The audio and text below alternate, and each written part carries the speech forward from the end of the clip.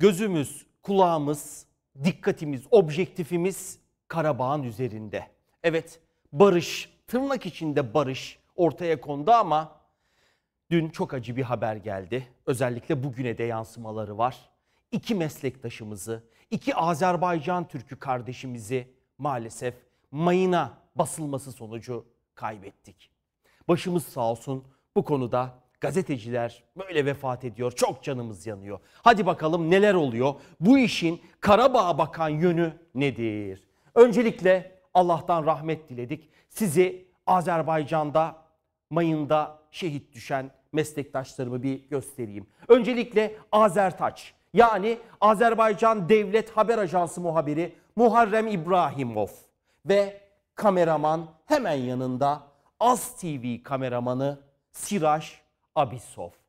Nur içinde yatsınlar. Peki ne oldu? Hani barış gelmişti? Olan şu. Haber takibini yapmışlar. Bir otobüsle geri dönüyorlar. Kelbecer'de yola mayın döşemişler. Ve arabanın, otobüsün lastiği dokunduğunda da patlama gerçekleşti. Nasıl oluyor? Oysa barış anlaşmasında 6 aydır yapmıyor Ermeniler gereğini. Mayın haritasını daha önce döşedikleri o haritayı anlaşma çerçevesinde Azerbaycan'a teslim etmeleri gerekiyordu. Vermemişler. Şu anda Azerbaycan güçlerinin elinde mayın haritası yok. Sözünü tutmuyor Ermenistan. Peki, e Türkiye de destek oluyor, temizlik de yapıldı.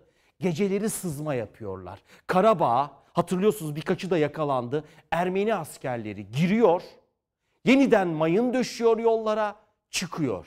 İşte onlardan biri gazetecileri hedef aldı.